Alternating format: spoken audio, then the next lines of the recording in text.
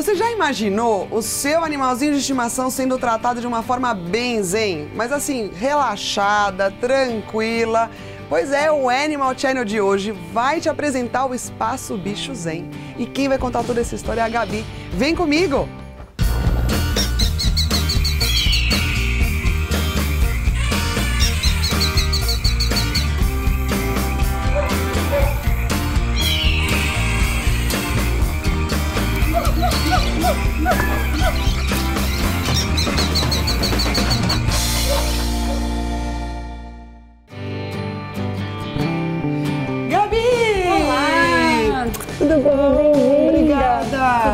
Olha só, é você que vai contar como esse espaço é realmente zen aqui? Com certeza, eu vou te então, mostrar eu tudo. Saber, quero saber tudo, tudo. Vai ser um prazer. Vamos pro bate-papo?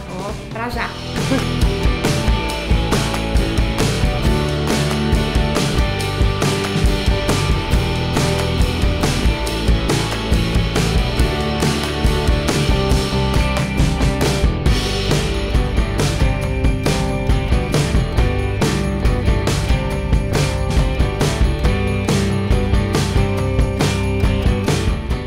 Gabi, então aqui é uma clínica que vocês tratam diversos animais, é isso? Isso, é uma clínica veterinária especializada na parte de reabilitação, de fisioterapia, acupuntura e reiki e nas especialidades. A gente atende cães e gatos das especialidades que são cardiologia, endócrino, dermato, terapia com célula-tronco, uh, hematologia e nutrição clínica. Nutrição clínica, que interessante. Sim. Vocês fazem cardápio, tipo, o animal tá meio gordinho, você precisa dar uma comida diferente? Com certeza, para isso tem até o programa fitness, para poder fazer o emagrecimento. não acredito. Que máximo isso! Essa parte de, da reabilitação do programa fitness e acupuntura e fisioterapia, eu vou pedir para a doutora Luciana compartilhar um pouco do conhecimento dela com a gente. Fantástico. É, e falando um pouco de reabilitação, é somente cães e gatos. Cães e gatos, para reabilitação em cães e gatos. Porque você também tem uma, uma profissional que é especializada em animais silvestres. Isso, correto. A doutora Verônica, ela é veterinária de animais silvestres. Ela mesma brinca que ela atende todos os bichos que não seja cão e gato. então a gente atende, já atendeu e atende macaquinho, atende papagaio, calopsita, coelho, furão, hamster enfim, todos. Todos os bichos que não seja cão e gato. É, incluindo assim, sabe que na nossa região a gente tem bastante saruê, né? É. Será que se precisar de um atendimento de um saruê, ela também faz? Com certeza. Inclusive já participei de um. Jura? Ai, que legal! Até porque a gente sabe que tem pessoas que pegam, enfim, ele se fere e pegam e trazem pra cuidar. Sim, com certeza. Hoje em especial a gente vai mostrar essa parte com a doutora Verônica uhum. e a gente também tem um atendimento especializado em felinos com a doutora Clarissa Trocoli que tem um ambiente todo diferenciado para isso. Então a gente tem um consultório 100% ambientado para animais silvestres e felinos. E nos, nos, felinos, é importante até te perguntar uma curiosidade, porque a gente sabe que não, não tem um, um, um, foco muito grande às vezes no felino e felino vem crescendo muito a população de felinos. Sim. Né? É, o cuidado no veterinário, do veterinário com o felino é um pouquinho diferente também, não é? Com certeza. Toda a medicação do felino pode ser diferenciada, até o ambiente dele é diferente. Inclusive a gente coloca um hormônio na sala, que é o feromônio, para ambientar, eles ficam mais calmos, mais tranquilos. Como os nossos atendimentos são todos agendados, a gente costuma colocar um dia antes já na tomada, que é como se fosse o de inseticida, mas ele é especializado para aquele hormônio para tranquilizar o gatinho. Ele fica todo literalmente zen ali no consultório é dele. Bem zen. Galera, olha só, não falei que aqui é um espaço zen. Pensa, um atendimento com um lugar ambientado para o animal, até a gente fica zen, né? Com certeza, vocês vão ver. Aqui é tudo focado no bem-estar, a saúde do animal e, obviamente, dos proprietários. Então eu quero conhecer e conversar com cada uma desses profissionais. Vamos lá. Vamos lá.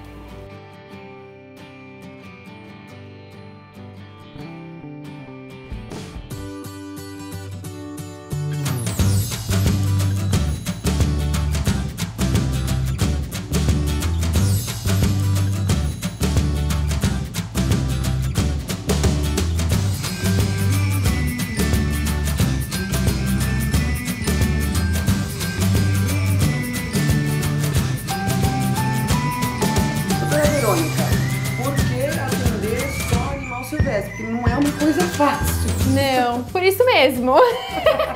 Na verdade, eu nunca gostei muito de rotina. Hum. E no dia a dia de animais silvestres a gente não tem rotina. Pode chegar um lagarto, uma calopsita, um coelhinho, um hamster, um peixe, fatia, às vezes até vida silvestre, né, atropelada, chega bastante pra gente. Uhum. Então é isso que eu gosto, né, do desafio. Esses animais têm muita deficiência de veterinário no mercado.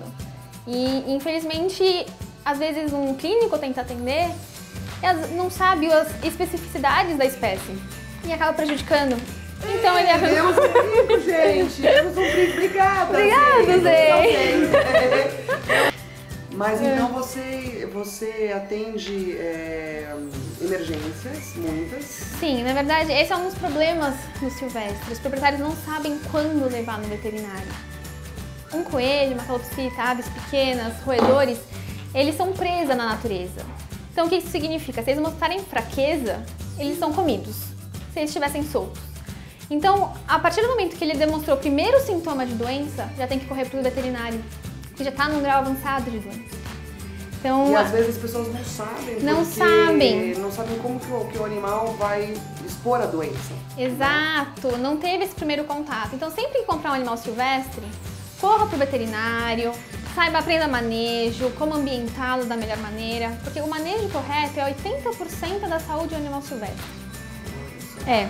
E é importante até falar, pessoal, como em outros programas eu sempre dou a dica, é animal silvestre você vai ter, é, se você for num local especializado, que existe o um animal que já é de cativeiro, foi criado para isso, né, Isso, são criadores já regulamentados e regularizados pelo IBAMA. Então são animais já que realmente você pode ter em cativeiro. Né? Isso faz com que a gente não incentive o tráfico ilegal dos animais, que no Brasil ainda é uma realidade muito triste, triste muito triste e muito intensa. É. Mas aí então você nessa parte difícil, que deve ser muito difícil, porque diagnosticar uma calopsita, por exemplo, com cólica, como que eles têm cólica? Como, como é que... Na verdade, eles têm dor, dores de barriga, eles podem ter uma diarreia, né? Geralmente a ave vai demonstrar com uma peninha um pouco mais inchada, um olhinho um pouco mais fechado, a gente chama de encorujada. Uhum. Vai dormir muito mais, vai comer um pouco menos. E a partir daí a gente vai partir para exames diagnósticos. Vai para um exame físico, onde a gente vê se está magro, se não está, como que está a auscultação dos pulmões, dos sacos aéreos. A gente consegue avaliar também as fezes, que é uma parte muito importante do animal. Na ave, alterou as fezes, pode ter certeza que tem alguma coisa errada. Também corra para descobrir o que é, né? E no coelho? Coelhinho, coelhinho a gente tem muito problema gastrointestinal, né? Mais do que em ave, que geralmente é respiratória a maior parte. Em coelho a gente tem que tomar muito cuidado. Não tá comendo por mais de 6 horas ou do nada parou de defecar, é emergência. Não é que nem um gatinho, um cachorro que você pode ficar ah, dois, três dias, vou ver se melhora. Não. Corre, em dois, três dias ele pode vir a óbito. Porque com ele é muito sensível, né? Extremamente sensível. Então, assim, a gente tem que fazer um, realmente uma emergência, pegar veia, às vezes até deixar internado nesses casos. Então tem que correr. E são coisas que o proprietário em si já não sabe, né? Ninguém quando compra conta isso pra ele. E quando descobre, ele se sente culpado porque ele não correu antes. E às vezes é tarde demais. Então, olha só, pessoal, sejam preventivos Isso. com os seus animais silvestres. Não com espere certeza. acontecer algum incidente, alguma coisa assim. Você achar que ele está sentindo, não, não ache. Já trabalhe de uma forma preventiva, né? exato, porque daí a gente vai ter muito mais jeito e muito mais chance de ajudá-lo. Doutora Verônica, muito obrigada. Obrigada, eu.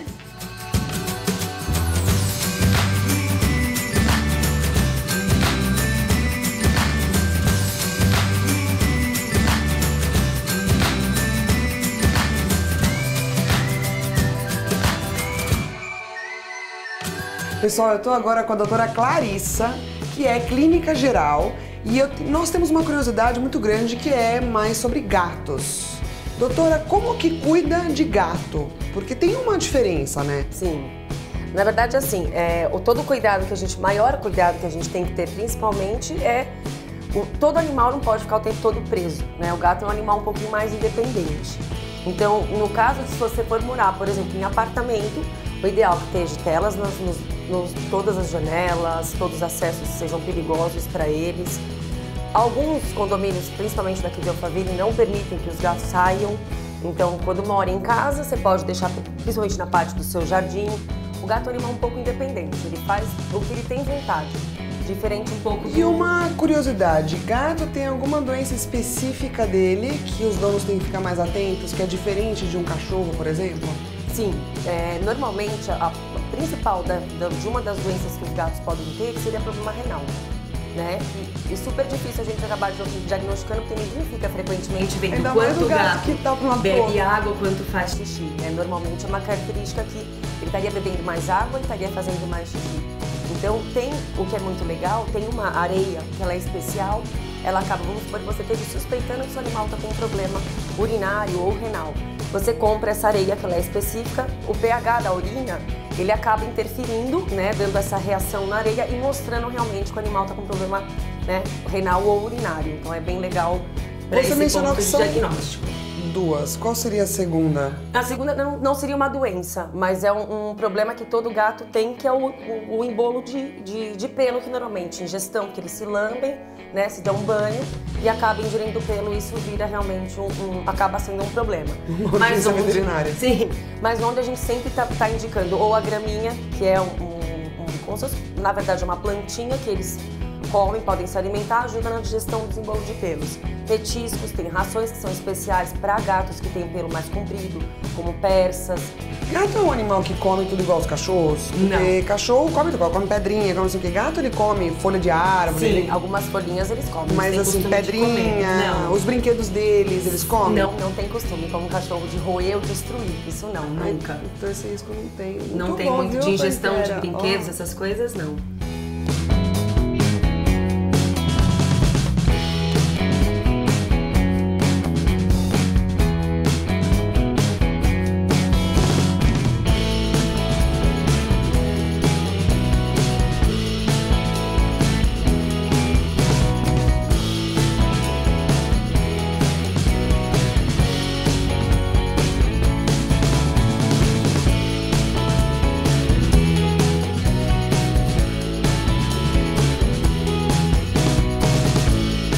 Doutora, é, a asa do Zen, ela foi cortada, certo? A asa foi 200 e cortada porque ele já veio, porque ele fugiu, então para evitar que ele fuja novamente. Fugitivo. Fugitivo.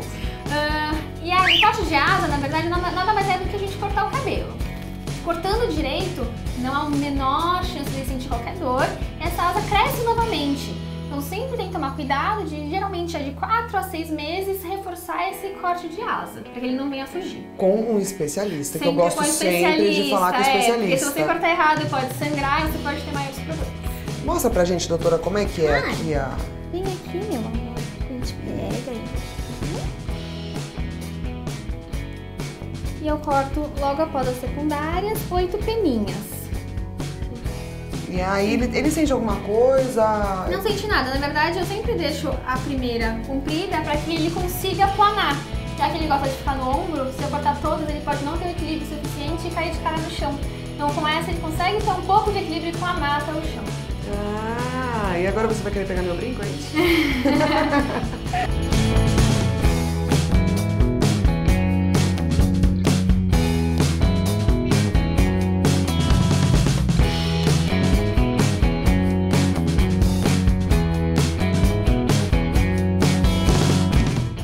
você mencionou o embolo lá, o pelo, mas tem uma doença outra também. Sim, seria FIV-FeLV, que é uma doença que é específica do gato, né? O cão não pega e todas as vacinas, a vacinação de gato tem essa proteção específica para que eles acabem não, não E pegando. É uma doença que passa para humano. Não, é uma doença específica do felino em si. Alguns até chamam de AIDS felina, né? Tem um, um protocolo que a gente acaba seguindo para tentar é, controlar, mas é uma doença, infelizmente, se pegar não tem cura. E como que pega, doutora?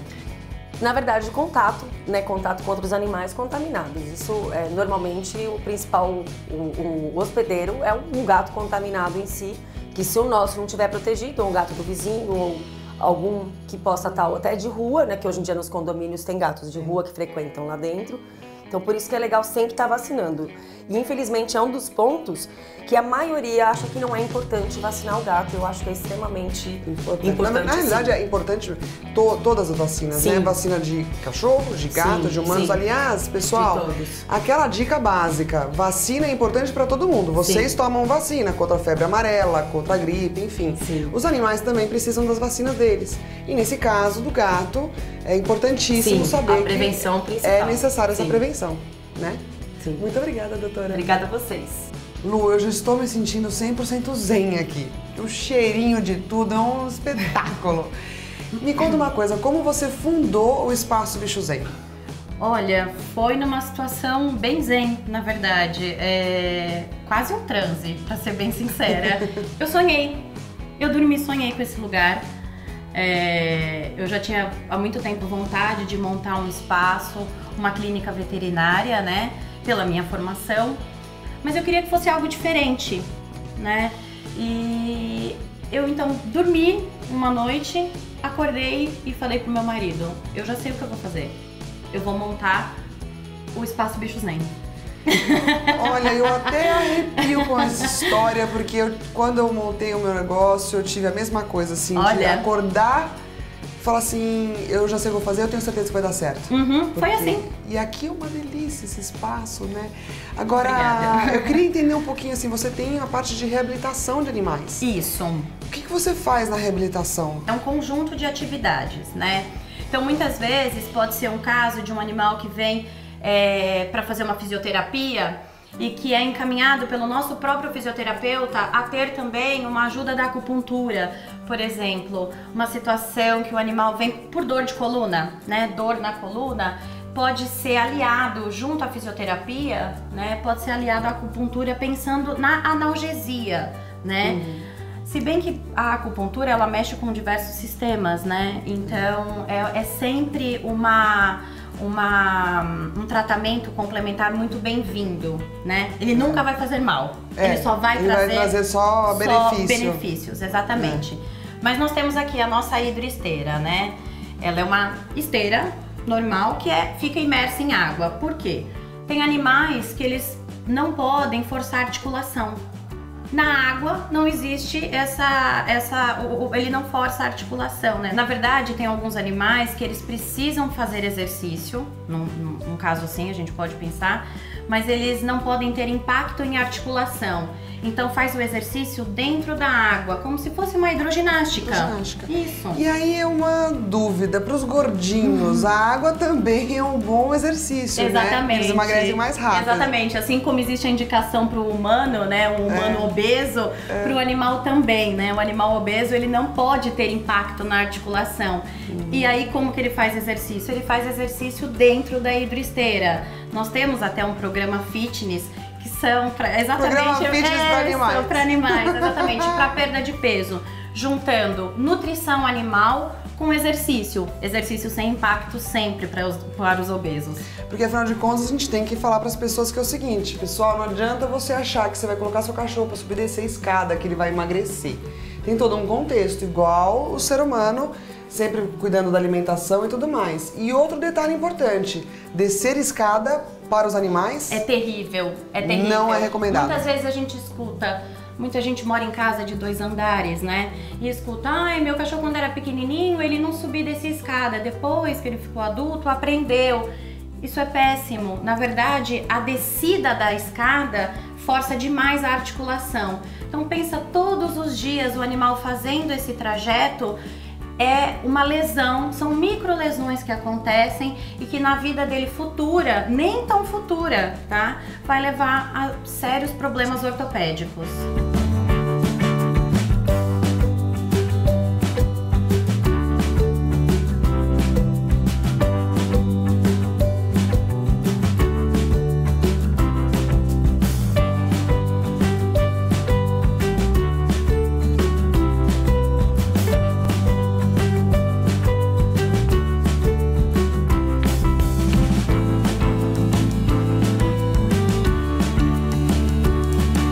Pessoal, eu tô assim me sentindo extremamente zen, tranquila. E na minha próxima visita no espaço Bicho Zen, eu vou trazer o Telzinho. Agora, fica aquela minha dica extremamente importante. Não façam atividades físicas com os animais sem um acompanhamento profissional quando for tratamento. Ou seja, não coloque o seu animalzinho na piscina ou não faça subir essa escada sem você ter um profissional com ele. O Animal Channel fica por aqui e eu vejo vocês no próximo programa.